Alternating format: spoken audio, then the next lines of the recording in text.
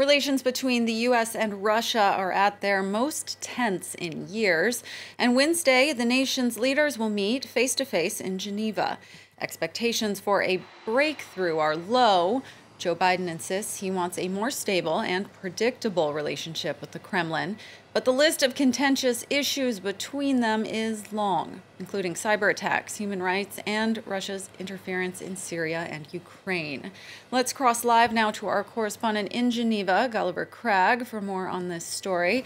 Gulliver, some have been comparing this Russia US meeting to the 1985 Geneva summit uh, between Cold War rivals Ronald Reagan and Mikhail Gorbachev. You know, that seems like a high bar, though. What are the realistic expectations for tomorrow?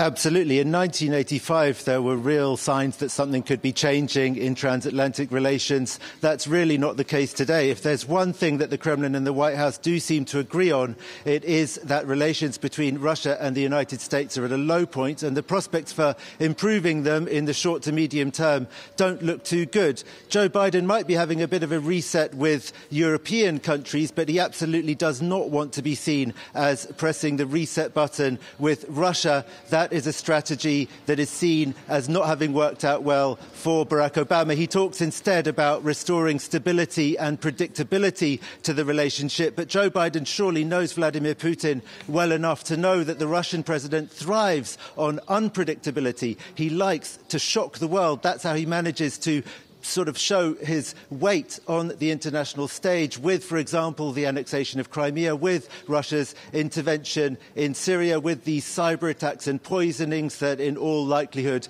can be traced back to the Kremlin. Now, Joe Biden took advantage of the NATO summit this week to reiterate his promise to NATO allies, particularly the Baltic states and Poland, which are particularly worried about Russia, that the United States would be taking a hard line against Vladimir Putin and making it clear that it does not approve of uh, Vladimir Putin's regime's uh, behavior in recent years and wants to see things changing. But now, though Joe Biden's rhetoric since he's been president has been pretty strong, pretty confrontational uh, with Russia, the, um, his behavior has not actually kept up with the rhetoric necessarily. Remember, this summit was convened by Joe Biden at a time when Russia was really threatening Ukraine, amassing hundreds of, sorry, tens of thousands of troops on the Ukrainian border. That in itself is seen as a victory by the Kremlin, I think, if the aim of that was uh, to be taken seriously. And also, of course, the United States has suspended sanctions against Nord Stream 2, meaning that this gas pipeline between Russia and Germany will, in all likelihood, be completed, despite the fact that the United States, officially at least, uh, continues to oppose it.